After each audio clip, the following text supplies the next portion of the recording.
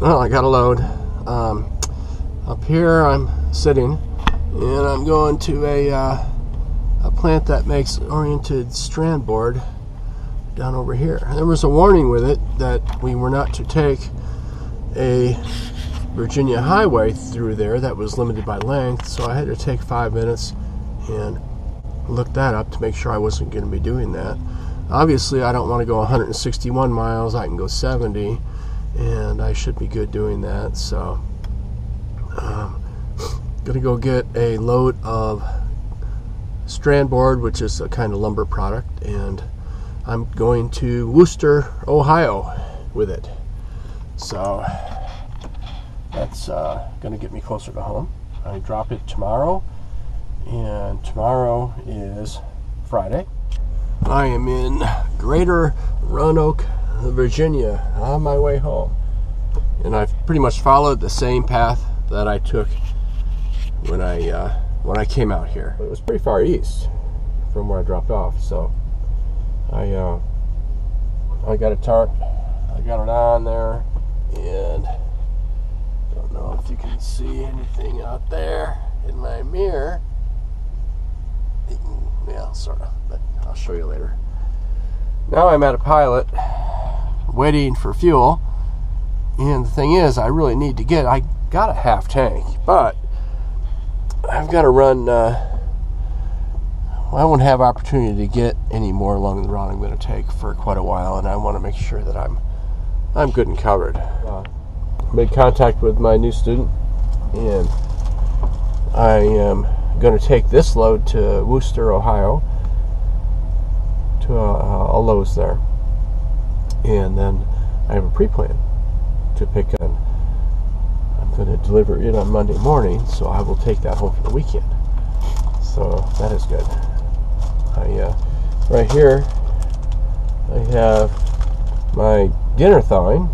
It's all set and I'm gonna cook that in my lunchbox cooker after I get going here. I could drive for uh, five hours in ten minutes yet, so I don't know how far I'll go. I'm 390 miles or seven hours and 22 minutes from my drop. So I don't know if I'll get home Friday night, uh, probably Saturday morning which is fine. I don't mind because I won't leave out until Monday morning, you know, early. Well, I'm up in. Uh, it's Friday at 10 minutes to two in the afternoon, and I'm up in Ohio, northeastern Ohio, up near a little town called Beloit, which is not Beloit, Wisconsin. And I just got loaded. I probably since I talked to you, I got a load of OSB board down in Virginia and uh, delivered it to uh, Wooster, Ohio. And then I came east over here, and we service a little machine shop kind of that delivers very, very finely finished little parts, steel, heavy, yeah, 46,000 pounds, and uh, taking it to Indiana to a place they make uh, semi trailers. So this is the load I'm taking home. So here it uh, here it is. Um, you can tell I've got a bulkhead here. So right up here, I've got uh, stacked eight foot timbers with a chain over them. Uh, they don't.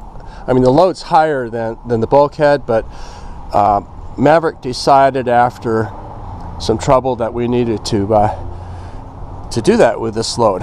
So they have a very very um, important but strict and fussy customer. Got to fix that. Uh, these tarps. Um, this is a strap load. Each of these bundles, I have three of them, are just over eight feet. So Maverick's uh, policy is anything over eight feet, we use three straps. Um, put our straps right where the boards were holding the pieces evidently they had some trouble. And uh, this stuff is bundled together, and they're little thin slats, like about two inches wide, and hundreds of them in each bundle. And what happens is they start coming loose. about ready to leave. I can't make it home tonight. I've got about four hours. I just pulled in this little service station kind of across the street and was going to get a Subway sandwich, but I was in the line, and I thought, well, I can come out here and do this, make myself a sandwich and a cup of coffee. Now, I went in there for a cup of coffee, but they didn't even have coffee. So I, uh, I'll, I'll make it a ways. Grab I-71, go down to I-70.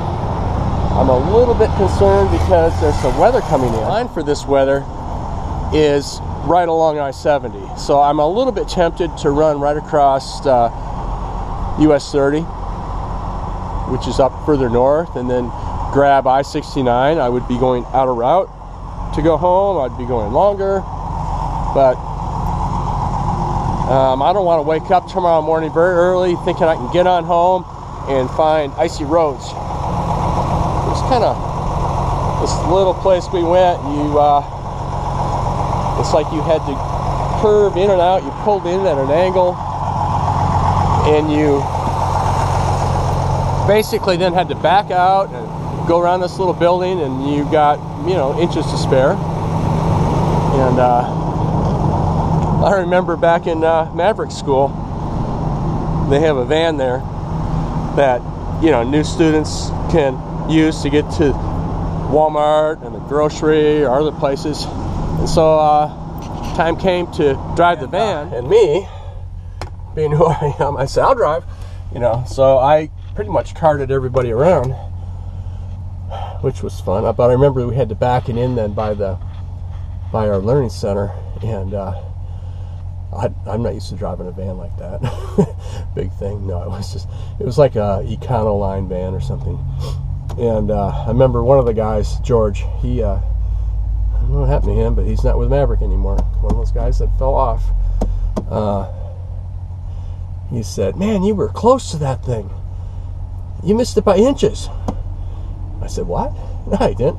I said, Well, I didn't hit it, did I? Okay, another vehicle, you know. I said, If I didn't hit it, I'm good. And he says, That's right, inches. And then he started calling me inches after that.